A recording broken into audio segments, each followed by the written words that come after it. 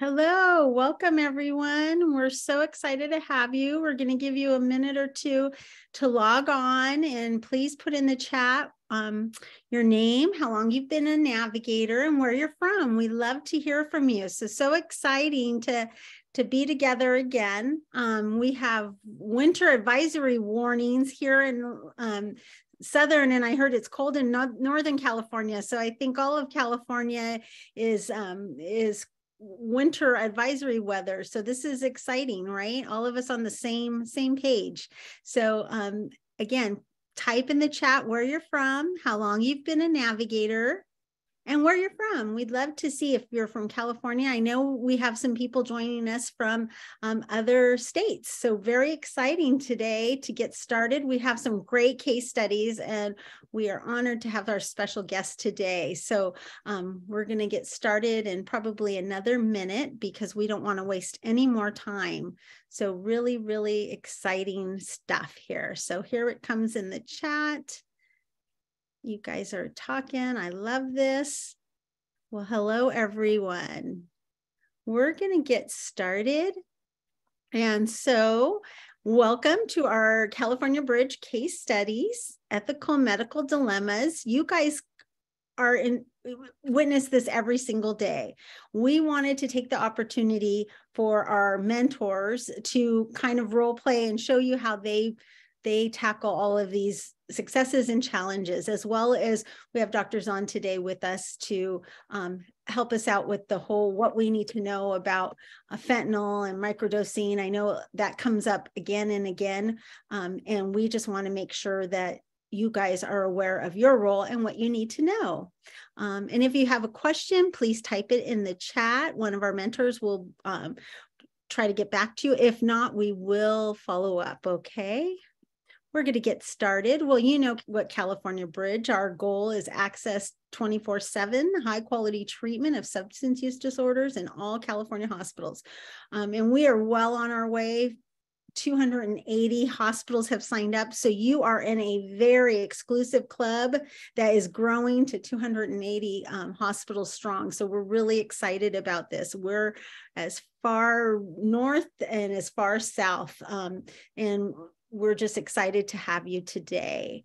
Um, full disclosure, all of our um, all of our materials are available are available through Creative Commons, and we will, um, if you request any type of materials. And so now we bring, I always, you know me, I always like to remind what the California Bridge model is. We're revolutioning the system of care. When we think back to 2019, when this got started, we've done so much in such a short amount of time. And part of that was because of you and doctors like Dr. Zahn that's here today. Um, has been just pledge, plowing along, trying to get people on board. And we've gotten 280 hospitals giving low barrier treatment. That's what the docs do. The docs are administering, prescribing buprenorphine for opioid use disorder. The other two focuses, connection to care and community and culture of harm reduction, are what you guys are doing. That's the navigator's role. So make sure you know our three focuses of our bridge model low barrier treatment, that's the docs, um, doc, docs focus, and ours is the connection and link to care. We're bridging care to treatment options as well as changing culture, right? Fighting the stigma and biases um, from everyone, right? We know that that's a huge challenge. So that's our three focus um, thing today. These are our objectives. Um, this is, is for CEU, and you will be given an evaluation link in our post event email. Um, so this is what we're learning today. And so our agenda, we have microdosing case study, telehealth, and opiate use disorder case study, as well as a youth overdose. So we have all these wonderful um, presentations today. And I do want to just give an announcement and shout out for it is Black History Month, so we always want to acknowledge um, our our uh, our monthly national day uh, national month days for black history so there is our announcement and we're going to go to case study number one, microdosing. But first, let me announce Dr. Zahn. Um, I'm honored because she was one of the first doctors that I talked to up in, I don't know if you remember Dr. Zahn in San Francisco um, before the pandemic started. So, so seems like so long ago, right? 2020 is when I met Dr. Zahn, and she is an emergency medicine physician in LA at California Hospital Hospital Medical Center, as well as Southern California Permanent, uh, uh, Permanente Medical Group. She is also our implementation leader, and she's been with us for four years now. Yeah. Many. Yeah. yes. and she, uh, she, you know, I have to say, she loves our navigators, and she is one person I can always depend on when um, when we need her to talk to you guys. She is so such an advocate for you navigators. You do not even know. So I am going to hand it over, and um, Dr. Jennifer Zahn is with us in the house. Woo woo. Hello, everyone. Okay, so we're going to start with a little case study, and I'm sure many of you guys have seen a case like this. The patient story goes like this 25 year old male patient comes into the ED, states he is in opioid withdrawal, but has no obvious signs. He is unclear about the last time he used M30s with fentanyl. He explains he takes half or quarter pills throughout the day, and it has been a few hours since the last use. So, how many of you guys have seen a patient like this? I mean, probably all of you, right? Um, there's so many cases of uh, patients with intentional fentanyl use, and they tell you that they're, you know, they're microdosing um, fentanyl, and you realize, oh, this, you know, this isn't just like an accidental overdose. This is like intentional microdosing of fentanyl. So, what do we do about this? I just have a um, a few of my own slides that I wanted to share.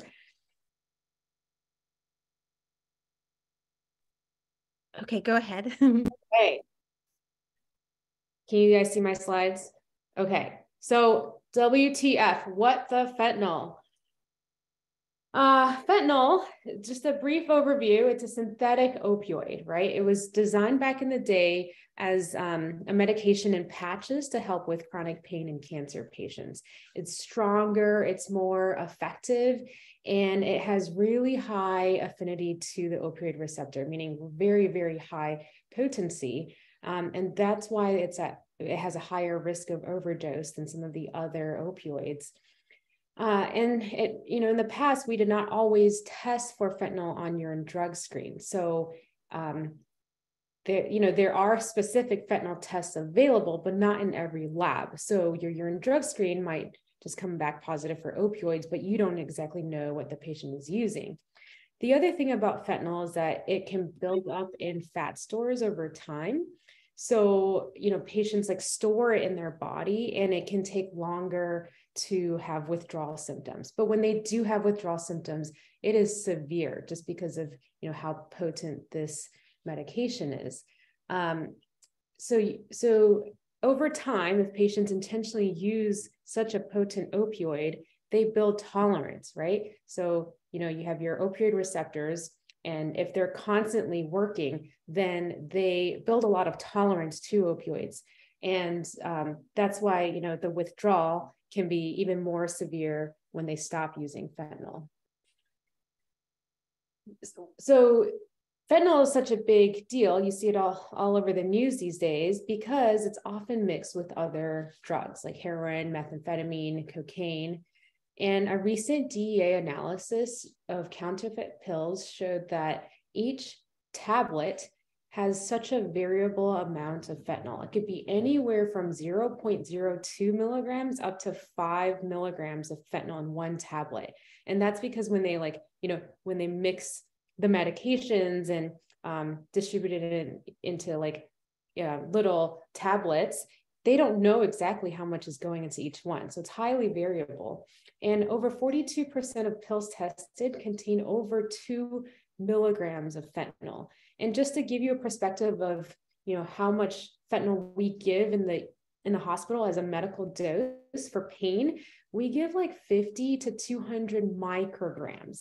So micrograms converted into milligrams is 0.05 to 0.2 milligrams.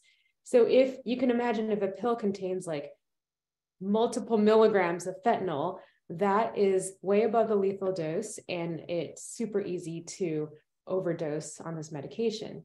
And the drug trafficking is by the kilogram. So one kilogram of fentanyl in counterfeit pills can kill 500,000 people.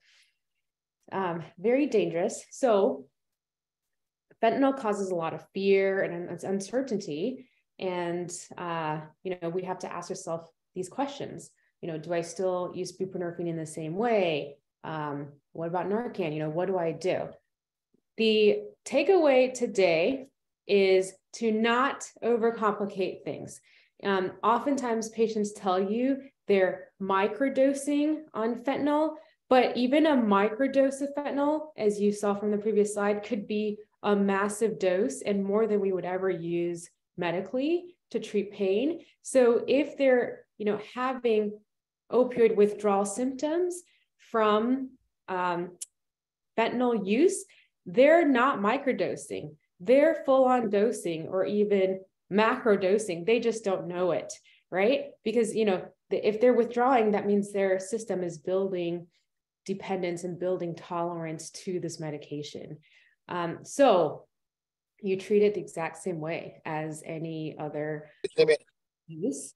Uh, so MAT works and you keep calm and start bupe. Um, sometimes the withdrawal symptoms can take a little longer just because they store fentanyl in their you know fat stores in the body. Um, so you tell the patients, you know, wait until you feel sick, wait until you're in moderate to severe withdrawal, and then start buprenorphine. So, you know, the patient in the case study today, he used a couple hours ago and didn't have active withdrawal symptoms. So that's a patient you can say, you know, come back when you're feeling sick or try take home buprenorphine. And here's how you start it when you do feel sick.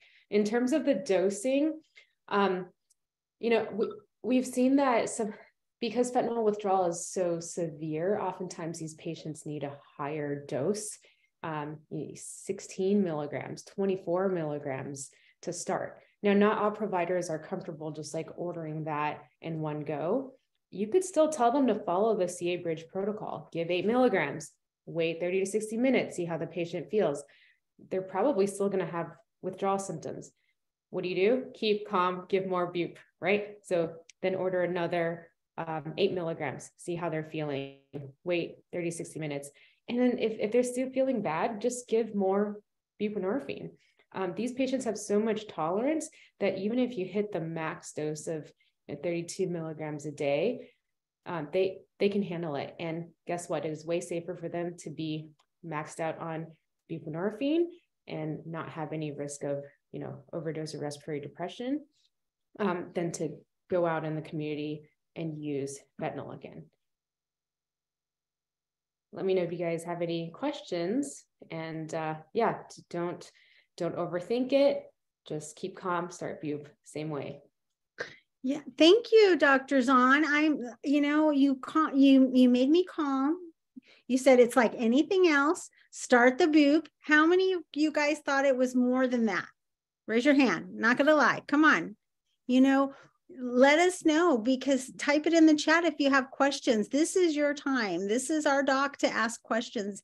And no question is uh, dumb or stupid or anything. If you have a question and you you're thinking about something, chances are somebody else is. And I love the fact that she said just keep it simple. Use our BUPE algorithm. I know Chaya has put that in the chat. And um, right now, I know we get lots of questions about fentanyl and microdosing and now macrodosing. Um, if you, you know, have any questions, and we're Dr. Zahn's always around, so definitely if you have one, have a question. How do I get doctors more comfortable with a higher prescription for buprenorphine? How do we do, do that, Dr. Zahn?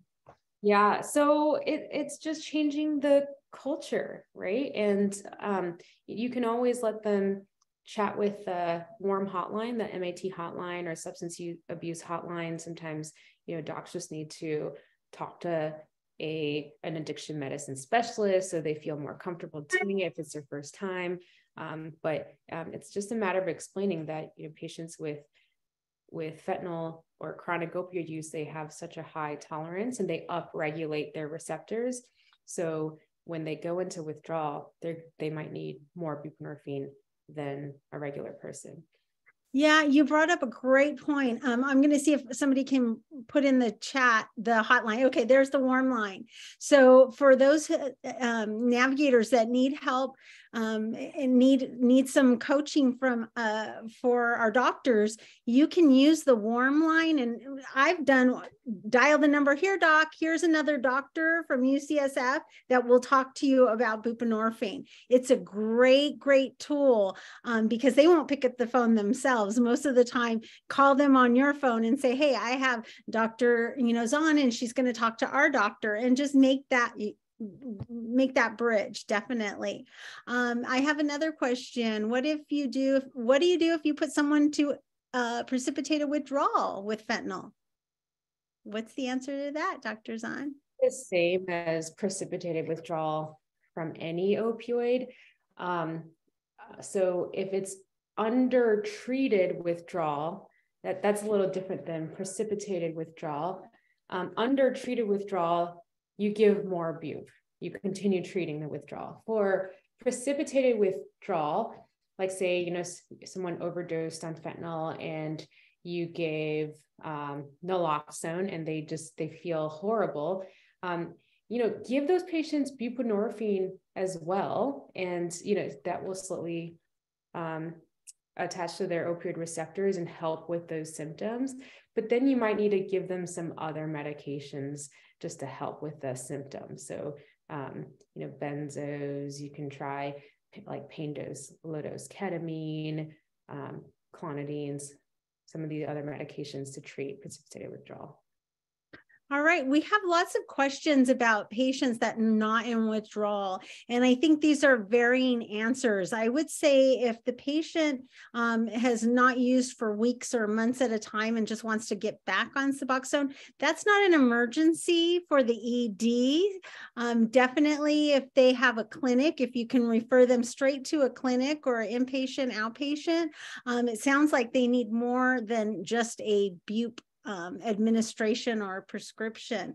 So um, I'm going to hold off because a lot of these are just stating that you know they're not in withdrawal. Dr zahn already had explained you can ask them to come back or you can give if your physician feels comfortable to give the prescription to start at home. Um, so definitely those are different scenarios and we can definitely address those back to you um, you know at a later time. Thank you. We have so many questions and we need to be mindful of the other speakers and dr zahn I really, really appreciate you coming. You made it so simple. And I think a lot of us were very um, nervous when it came to that because it's such a, you know, microdosing, macrodosing, all of this. And, and remember you guys, you know it's just keep calm and give bupe and definitely um, if you you're you need your physician to um, speak to somebody use our warm hotline. That's what it's there for you guys. And there's always somebody who will call you back or answer. Very rarely do i um, you know they do answer. So you know sometimes it might you leave a message and they'll call you back. Okay. Thank you so much dr zahn. Thank you for being here you're welcome. Lots of great questions in the chat. And, you know, we'll try to address some of those um, after just to give time for the other uh, panelists. Okay. Yes, thank you, Dr. Zahn, and we will. We'll get back to you. There's just an overwhelming um, number of questions, so we need to move on. Um, we will put up the warm hotline number again. Um, we'll have have our team do that definitely, as well as the BUPE algorithm um, we'll put have that in the chat as well. Those are your two friends, right? Okay, we're going to get started and going back to our presentation. Let me get back online here. And next, we have our navigator mentors for case study number two. Um, I just wanted to remind you guys all sites are not the same and treatment plans may be different at your facility. There's no right or wrong here. We're just allowing our navigators to share share some case studies with you. Um, so definitely if you again if you have questions and you have your own uh, personal experience that you you know you needed some answers to, share it in the chat and we will get back to you. I promise that. Somebody asked if we're going to share this PowerPoint. Yes, everything you will get a post event email email and it will have the resources and the slide deck that we used here today. Okay, so we're going to get started and I'm excited to um, pre, uh, to announce that we have our mentors, Latoya Mitchell, Nicole Farley, and Wendy Martinez. So you guys are on next and they're going to present um, they're going to do some role playing so i'm real quickly going to go over this because you're going to meet these the navigator and the patient um, they have a whole role playing to do and this patient is Penelope. She's 35 year old female using fentanyl and heroin IV. She started using after a car accident and she is just starting her withdrawal symptoms. So she's unable to get her drug of choice. And um, after much runaround, she's finally gotten to the navigator. Team, I'm going to have you guys take it away. Ring, ring. Good morning. How can I help you? Hi, my name's Penelope, and um, I was wondering if anyone um, at your hospital could help me. I'm in, I'm starting to feel withdrawal symptoms from fentanyl. Um, I, I also use heroin, um, and I'm just feeling really sick. Um, I can't get a hold of my dealer um, we're snowed in. And so I was just wondering if there is any way that someone at the hospital can help me. I've been transferred so many times. I just really need help. Oh, I'm so sorry to hear that, Penelope. I will be glad to help you. Uh, we want to make this as low barrier treatment and give you, make sure you have access to services. So uh, let's see what we can do. Um, you've been having withdrawal symptoms for how long? Um, I'm probably the last time I used was like six hours ago. Okay, okay. So what I'm going to do, since you're snowed in, I'm going to try to speak with one of our physicians here in the hospital to see if we can connect you with uh, services and or uh, get to the pharmacy. Do you have a pharmacy near you? Yeah, there's one like a block away, right, right around the corner from me. I think I could get to it if I need okay. to.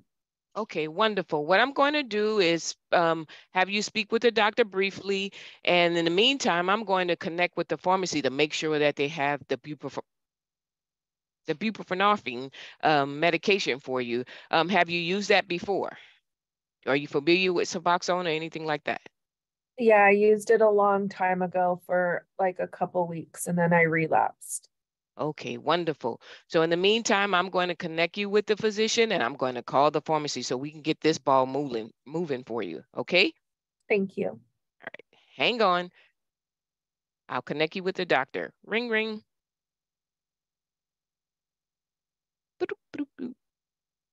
Okay, she spent some time speaking with the physician. Um, I was able to connect with the pharmacy, Penelope. Wonderful. So they do have the medication available for you. Oh, that'll be great. So in do the I mean, just go and pick it up, or what? What do I do? Yes. So you can just go pick it up. Uh, the pharmacy will give you some details and how to take it. In the meantime, I have your phone number because I looked up your information. So I'm going to take a snapshot of our uh, Suboxone self-start just to make sure that you have it with some detailed instructions. And also, um, I would like to connect you with our clinic, one of our clinics that are near you for uh, follow-up services. So I would, do you mind if I share your information with them? Yeah, that would be great. I think I, I need to, I need to get back on um, more permanent um, treatment and oh. stay on Suboxone. I don't want to go through this again. Okay, so we're going to make sure we kind of link you to some care outside of that. And also, we don't know what this weather is going to do. So I want to make sure that you have the county hotline number in the event that you cannot get in touch with myself or someone on our team. Okay? Okay. And that number is 888 777 9311. Thank you so much. How, how soon can I go pick up that prescription? Uh, it should be ready for you within the next hour or two. Okay, thank you.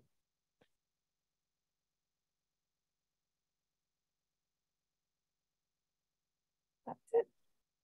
That's it. Thank you guys. So all right. Thank you, everyone. I'm um, really, I love that scenario. We already have some questions going in. And so we have, um, she has no insurance. How's she going to pay for it? Any question, any, any, anybody can answer this, including our navigators out there, right? I'm waiting. Any answers from our navigators? What would they do if the patient has no insurance? Offer her to sign up for Medi-Cal. Yep. What if medication is out? Nicole did call the pharmacy. That's why she, uh, one of the things that she did, what she said was she was going to. Um, each hospital is different. Um, but I know there is Xenia says they do telehealth.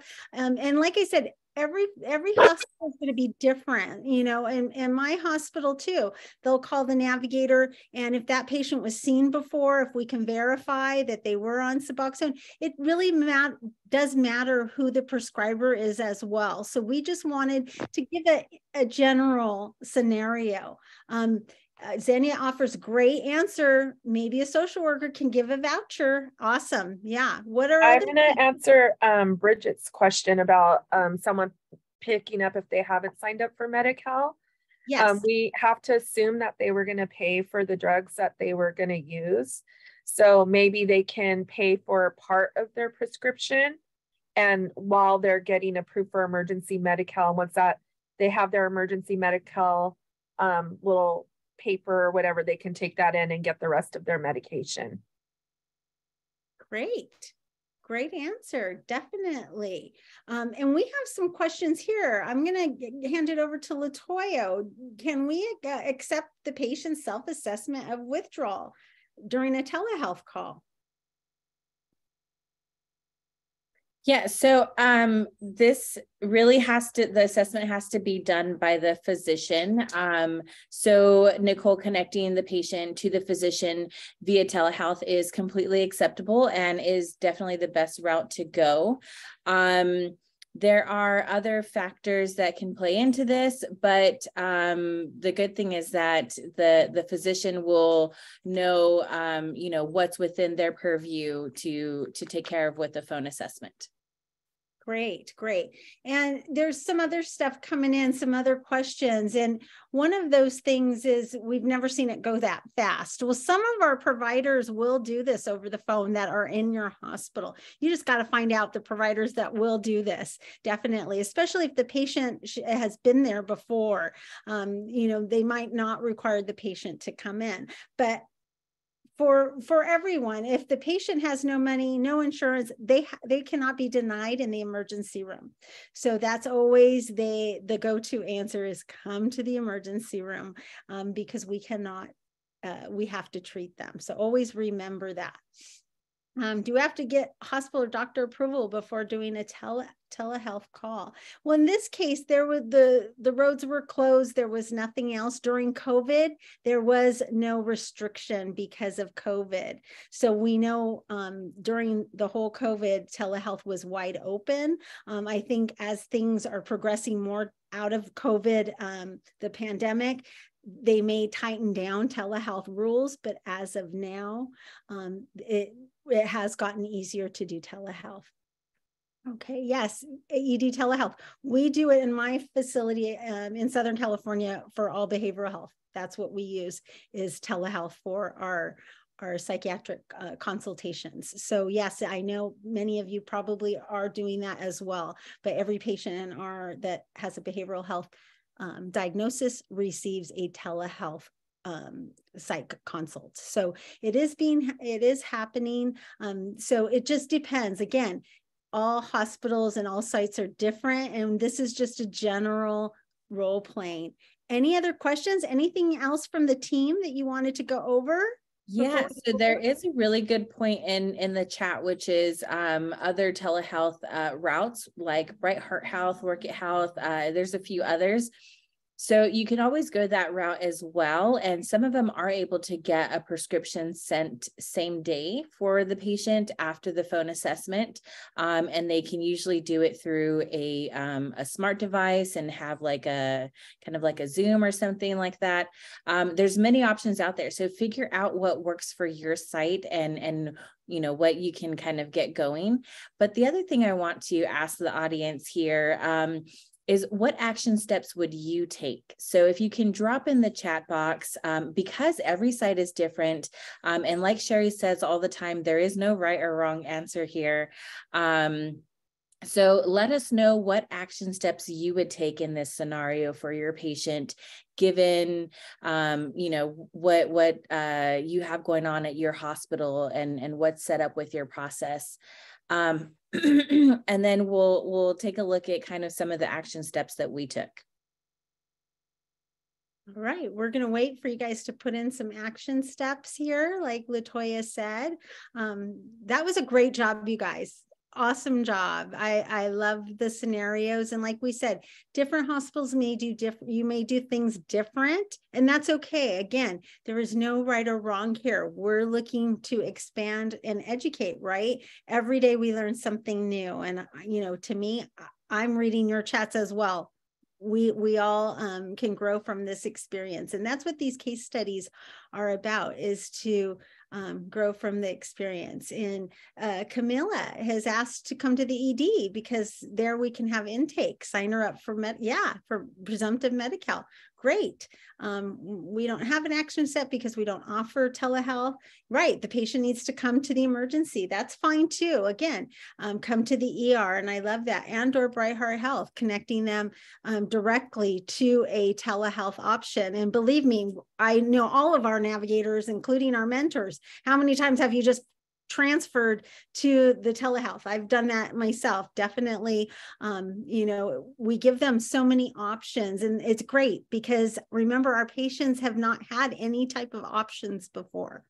Um, before you came to town in this new role, there were no options. So even the fact that we're, we can offer different options is great. Um, weather isn't an issue. We can't do telemedicine, Jeffrey says, but would encourage patient to come to the ED. Definitely. I agree. Um, you know, start it, start them on Bupe, especially, um, you know, if she's six hours out, you know, maybe the weather will get better, the roads will get better in another six and she can come in. So I just, I love all of these answers, definitely getting them a, a telehealth appointment.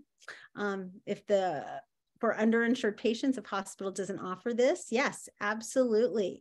Um, we have a mobile med team that connects with them in the streets. Lisa, oh my gosh, I'm so jealous. I am 100% jealous of you guys because that is awesome. We do not have that at all. That is truly amazing. I would love people, uh, all, all of our hospitals to do that. Talk about low barrier. Um, that is like the best low barrier. So definitely thank you for that. Um, coordinate with the social worker in the hospital. Okay. Um, I love it. If patient was in the hospital, staff to assist and apply for Medi-Cal. You guys know this stuff. You guys are awesome. I love this. Um, and again, our our newer navigators, please read the chat because there is so much information in here um, that I'm not saying. And I appreciate every single one of you putting an action plan because remember, we're all learning this together. So this is amazing. Thank you, team. You did a great job. We're going to move on to our next scenario. And I just oh, wanted sorry, to. Sorry, sorry. We're going to go back to the action plan. Oh, this yes, the action. So um, so one of the one of the important things that that we felt needed to be done was review the uh, withdrawal symptoms. Um, make sure that uh, we located a pharmacy that the patient could get to safely um, and then also making sure that that pharmacy has the medication on hand to dispense because it wouldn't help um, relieve those patients' symptoms if the pharmacy has to order it in and it takes another three days to get it.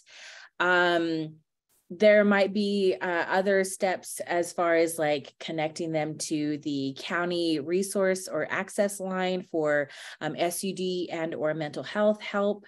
Um, and then making sure to follow up within uh, 24 um, hours just to see where the patient's at how they're doing how it's going um, and and invite them to come in if it's if it's safe to do so.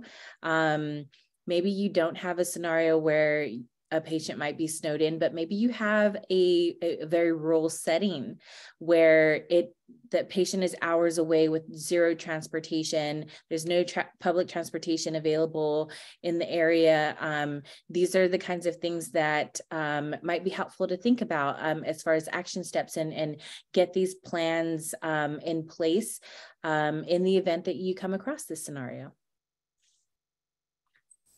Great. So the, the, this is what our team came up with action plans. It doesn't mean right or wrong if your action plan is different because you know your hospital and your processes. So great job to everybody. And I'm still trying to read all, I have a very small window to read these um, comments in the chat, but they are amazing, you guys. I know you are working hard and I'm so impressed with all of you. This is uh, truly amazing. I wish I could uh, show everybody, all of our doctors, all of this wonderful action planning going on. Thank you, team. Next, we're moving on to our case study number three. This is a, a youth overdose, and our navigator mentors, Chaya, Vang, Tommy, Xenia, and Marianne will be presenting. What are they presenting on? This is 15 year old Freddie. Freddie was um, overdosed on marijuana laced with fentanyl and he came in by ambulance. His parents just arrived. They're divorced, don't speak to each other. And I'm going to hand it off to the team. Go ahead. Hi, Dr. Zania. Is it is it okay if I go see your patient in Hall A? It looks like he overdosed, and I just want to go in and see if I can offer him some resources. Yeah, that would be great. Let me know what happened. Thank you. Knock, knock. Hi, Freddie. Uh, my name Hello. is Chaya. Is it okay if I come in and talk to you for a few minutes?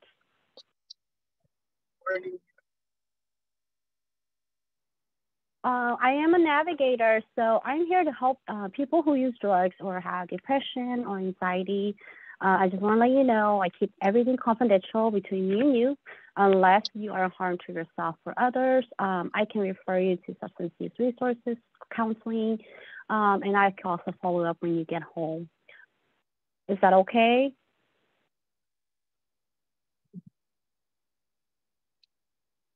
Tommy, we're having, we can't hear you. We're having some technical difficulties. Can you hear me now? Yes. Okay. I don't use drugs, I think you have the wrong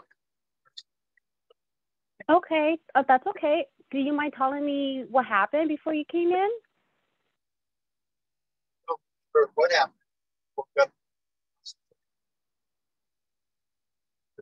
I think you're saying you don't remember what happened and you just woke up in the ER, right? Right. Okay. Well, I am not a nurse or a doctor, but I want to tell you you came into the ER because you overdosed on fentanyl and EMS was able to come by and uh, revive you. That's why you're here in the ER.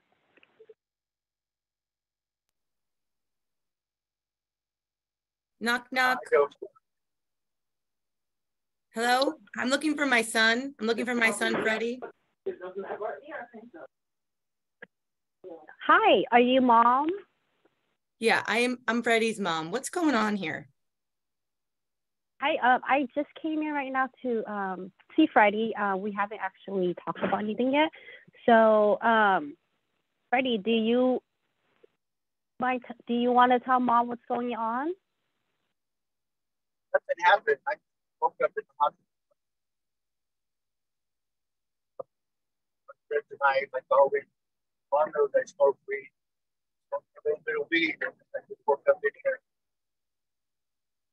Freddie, you're supposed to be at school. What are you doing smoking weed when you're supposed to be at school? I don't have time to come down here, Freddie, and and deal with you. Sick of this.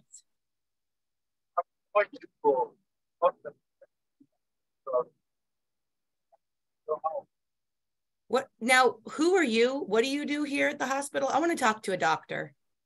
I want to understand what's Oh, going yeah. on here. My name is Chaya. I am actually a navigator. I'm here to help um, offering you resources, um, such as family resources, or even getting you in touch with a social worker if that's something that you guys are open up to discussing about um, today. Has can I ask is has there been any history of um, Freddie over um, having similar encounters like this before from his I mean, marijuana Freddie use? is a problem. Freddie has always been a problem. I got five kids. He's the hardest one. I have four jobs. I don't have any support from Freddie's dad. So Freddie, Freddie needs help. Whatever you have to offer Freddie, we're going to take it because I cannot be leaving my job, coming down here just so he can cut class and smoke weed. Oh, Okay. Well, it sounds like there's a lot going on. I am going to offer you some resources for right now. Um, I'm also going to offer you a Narcan kit to go home with in, in case that something like this shall happen again. Um, that way you can help Freddie or somebody else. Um, in the What meantime, wait, is wait, I'm going. Narcan? Narcan? You mean that stuff that you've been hearing about on the news? Why Yes. does Freddie need Narcan? Sorry. Um, so we, I want to offer him the Narcan just because he is using marijuana. Um, just in case he overdoses on marijuana from take and maybe mixed with other substances that he may not be aware of. Um, just so it's, just safety precaution, and I will definitely teach you how to use it. Um, teach you and Freddie, and give you guys a kit to go home with if you are if you accept that today. You know what? Can you help me? Can you help me call his school? He needs some counseling and I don't know if you can be the person to call the school or if you know anybody in this in this town, but I can't go home with this kid like this. Um, that's something beyond what I can do, but I could definitely ask my social worker to come and help me with the situation. Is that okay? Yes, yes, yes, please. All right, thank you. Um, I will be right back, Mom.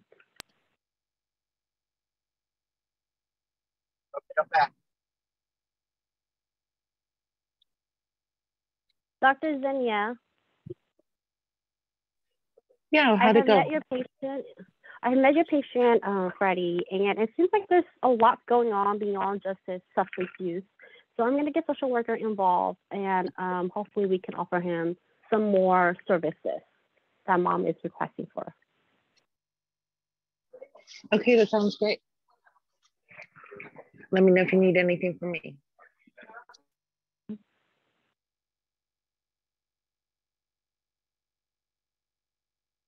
you. Uh, and that concludes our role playing. Um, I just want to go so, home. Sarah, you're still muted.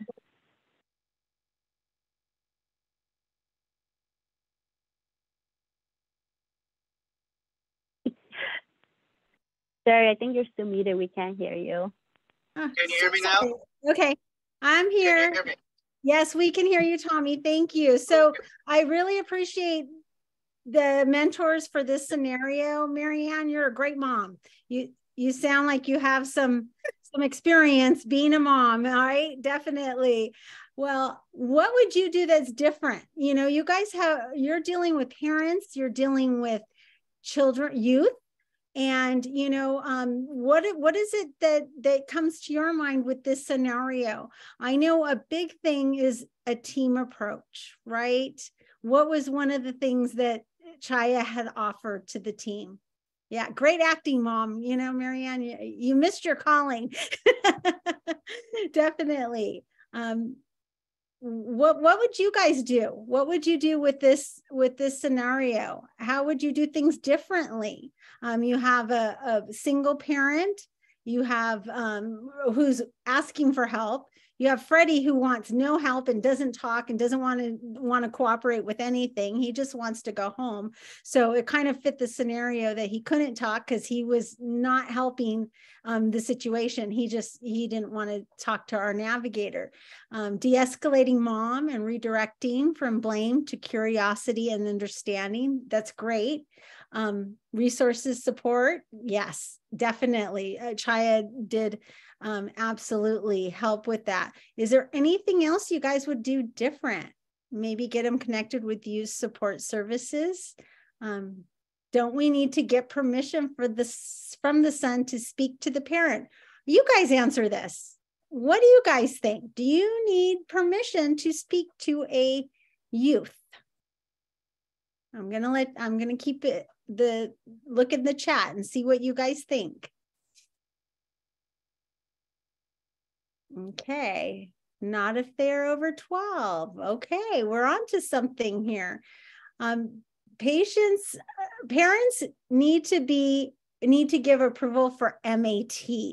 For if a patient wants to speak to a counselor and wants counseling, they can approve themselves. So Josephina, you're correct. Only for treatment. Yes, absolutely. So there is your answer. Definitely do some of uh, follow-up calls with mom and freddie? Absolutely. This is a great opportunity because uh, the navigator has made a connection. Um, so definitely some follow-up but just rem- remember if the patient uh, parents uh, permission has to be for mat only. Um, a, a child can ask for therapy counseling services but they cannot um, they are not emancipated. They they cannot give permission for any type of mat uh, treatment. All right. Okay. Any other questions on this presentation? Here's some of the questions you know what would you do differently right? Does anyone have telehealth? There are some that will do like 16 i know um but it is hard to get telehealth for youth. Most of the time they want them to come in. If anybody knows some resources, please type it in the in the chat, okay? Um, Des- Destiny says, I know there's a lot of pressure with parents, especially those not so understanding. I'd explain a bit more about what happened, the risks of illicit drugs.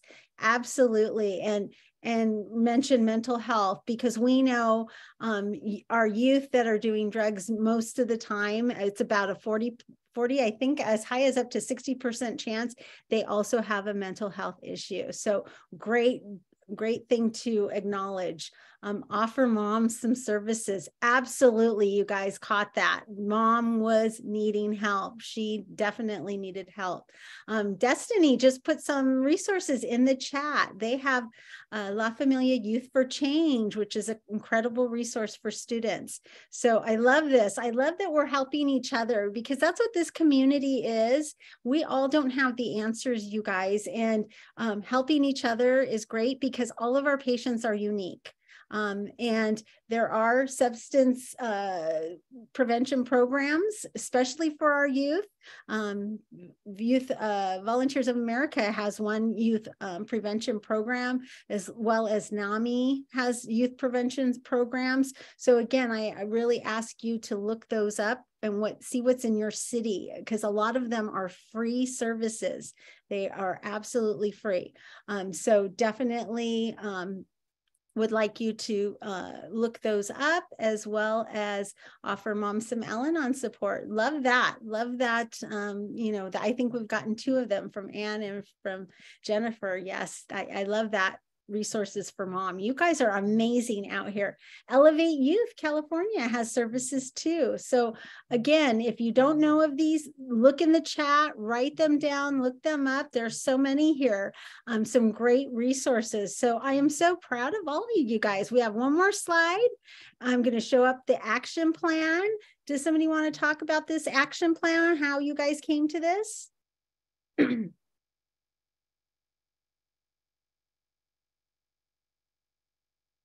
Xenia or Marianne, do one of you want to talk about what what was on here for the action plan? Nobody? Sure. Okay, go ahead. Um, yeah, so always following up with your provider after you um, talk with the patient and also just updating them on any kind of resources that you've provided. Um, making sure that your per, your patient um, and parent has the navigator's contact information for continued support. Um, you know, I always like to know what my my resources are before I go into the room. So, um, you know, obviously you will be getting more information when you're working with the patient, and so then, you know, making sure that they have something that they're leaving with. I like to have something in their hands, or also there's a lot of apps now where people can access um, support and you know and meetings, especially for youth. So helping them to download those before they leave um, the hospital giving additional resources to family members, um, giving naloxone kits and education to everyone. So making sure that, you know, obviously the patient has naloxone, but whomever is taking them home, that they know how to use the naloxone. And um, I always like to, to also send them with like a little YouTube video, but then showing them how to use it. Um, and then providing a follow-up appointment regardless um, of if it it's a if it's a mat need or behavioral health so some kind of follow-up appointment with some kind of supportive service that's great thank you great job you guys that is our mentor team so shouts out to them and their scenarios um, we've we've been discussing question and answers.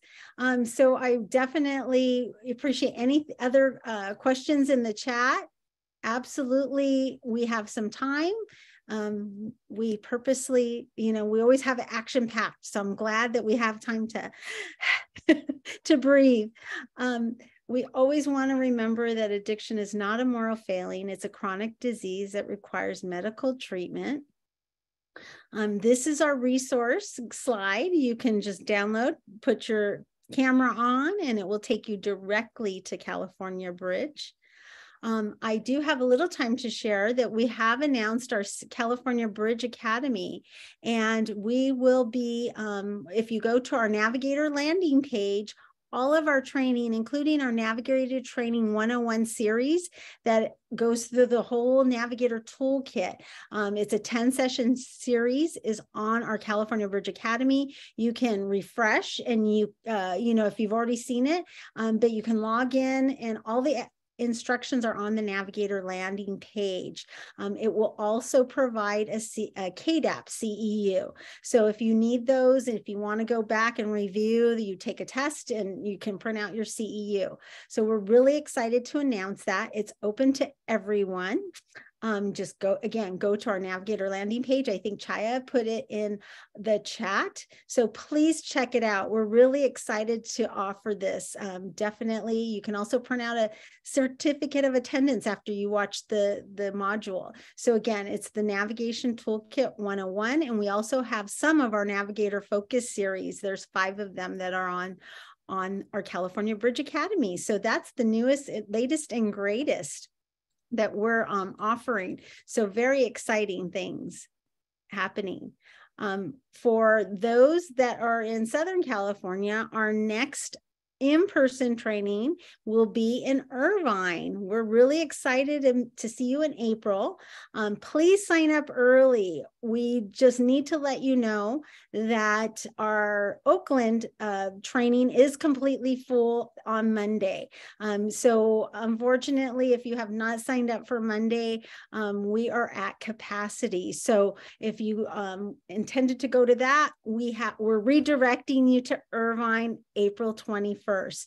Please sign up early. Again, um, there is capacity um, uh, capacity um, um, limits. So we want to make sure everybody is um, can come to either Oakland or, or Irvine, but Oakland is already full. All right. Okay. Anything else? My thing is stuck here. So let's go. Okay. Um, if you want to contact any of our mentors you've seen here today, and I'm going to announce them one more time and come off camera or have them come on camera, please, mentors at californiabridge.org goes to all the mentors. So you don't need to remember their names. You just hit mentors at California Bridge. You can get any question answered anytime. Um, and so that is your lifeline, mentors at cabridge.org. We wanted something very easy for you to remember.